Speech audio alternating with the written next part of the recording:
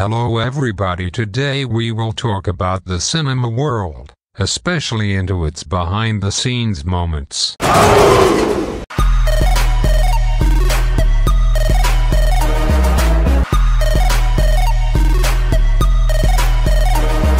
It's hard to imagine how difficult getting used to the role is when you are surrounded by green screens.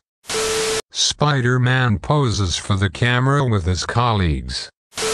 Nicholas Hoult finds inspiration for filming Mad Max in literature. Why not have fun if the villains are not real and you actually don't have to drive anywhere? Thanos definitely looks more joyful behind the scenes. Yara Greyjoy trying to get rid of the water in her boots.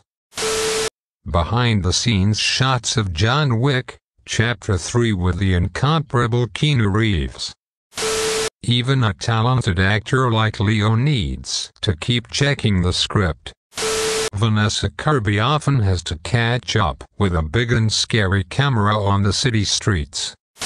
If you peek behind the scenes of the Life of Pi movie, you might notice that some of the water scenes were done indoors. Oftentimes there are many more people behind the scenes than in the frame. That's what you can see on the set of the Batman v Superman, Dawn of Justice flick. Zoe Saldana, Sam Worthington, Kate Winslet, and Cliff Curtis on the set of the second part of the Avatar movie. Matt Damon wasn't really alone even on Mars. Lucifer is the center of everyone's attention, even in between filming. Iron Man without his costume. Here is how Joseph Gordon-Levitt walked in the rotating corridor in the movie Inception. When so many cameras are filming you, it's important to look properly. Even the royal family has stunt doubles. Drax looking through his social media as long as the galaxy is safe.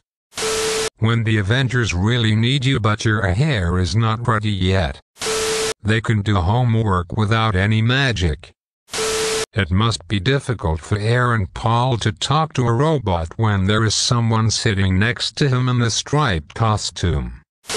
When director Todd Phillips is watching his every step, the Joker stops smiling.